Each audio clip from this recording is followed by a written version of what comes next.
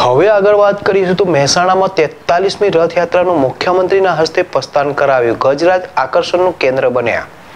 મહેસાણામાં આજે તેતાલીસમી ઐતિહાસિક રથયાત્રા નીકળી. રામનવમી પવિત્ર પર્વે આજે મહેસાણા શહેરમાં રામસેવા સમિતિ દ્વારા રામનવમીના પવિત્ર દિવસે ચતુર્થ શતાબ્દીનું આયોજન કરવામાં આવ્યું હતું.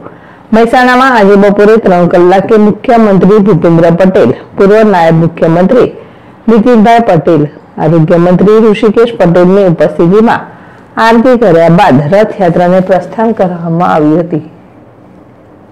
ભાવિન ભાવસાર, જેડેશ ટીવી, મહેસાણા.